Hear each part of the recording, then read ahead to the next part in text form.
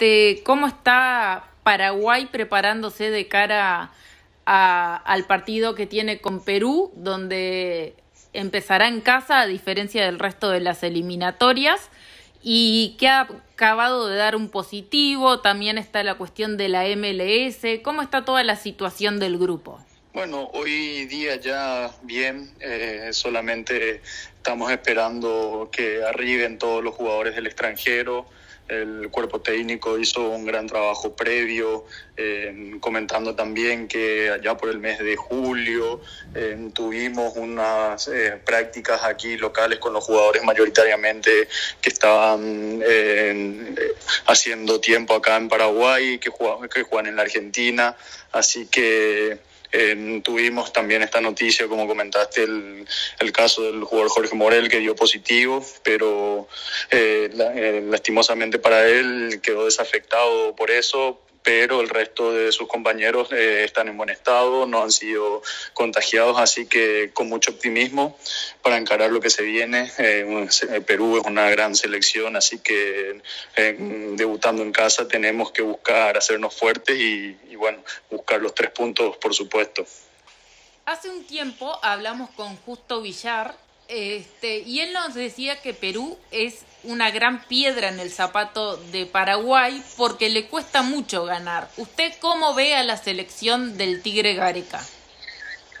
Sí, todos sabemos lo que es Perú. Perú, una selección fuerte, una selección rápida, con jugadores muy experimentados, de buen juego, eh, clasificando al último mundial de Rusia, eh, dio muestras de ello. Eh, el último partido que nos tocó disputar local no fue favorable para nosotros y coincidió, que coincidió con el gran repunte que tuvo Perú. Así que es un rival al que le tenemos el máximo respeto, al que vamos a tener mucho cuidado, pero sin desmerecer nuestras condiciones de que vamos a salir a buscar los tres puntos.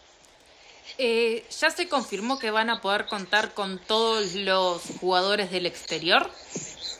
Sí, hoy justamente el profe Berizo hizo un repaso con cada uno de los futbolistas que están pendientes de viajar. También las gestiones con los clubes de la MLS fueron fructíferas. Eh, ya tenemos plena confirmación que tanto eh, Alejandro Romero Gamarra como Gastón Jiménez van a formar parte de nuestra delegación, así que estamos completos en ese sentido. ¿La selección peruana ha realizado algún pedido en especial?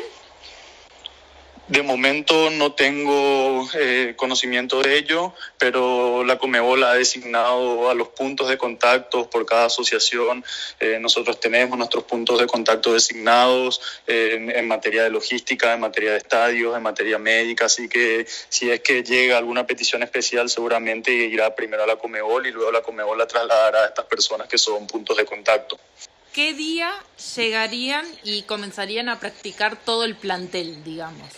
Bueno, no manejo al detalle todos los itinerarios, pero algunos ya están, estarán viajando el día de mañana después de sus partidos, otros el domingo.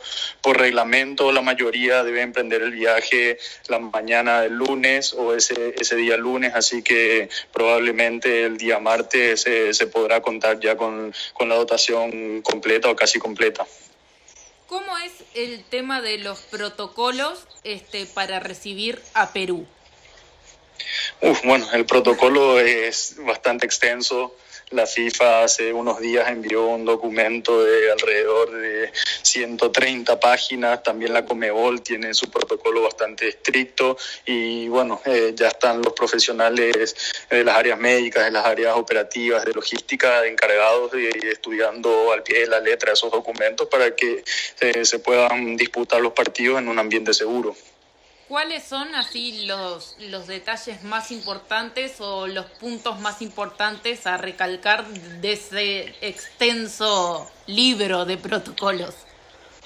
Sí, veo que es algo similar a lo que se están haciendo en cada uno de los países, en los torneos locales, de tener un, un test PCR negativo por lo menos 72 horas antes de cada viaje. Eso debe ser informado a las autoridades sanitarias, los controles de temperatura, las eh, medidas de higiene como lavado de manos, también que las delegaciones deben estar eh, compuestas de un máximo de 60 personas, que el estadio está dividido por zonas, zona 1, zona 2, zona 3, con accesos específicos para cada, para cada colectivo. Y bueno, eh, en, fin, en síntesis, eh, vamos a estar disputando unas clasificatorias a Qatar bastante inusuales, pero eh, es lo que nos toca, debemos adecuarnos y adecuar nuestros comportamientos para que se puedan disputar los partidos de, de la manera más segura posible.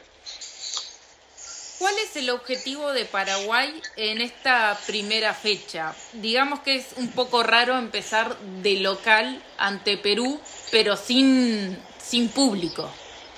Sí, nos hubiese gustado tener a nuestro público presente en el Estadio Defensores del Chaco.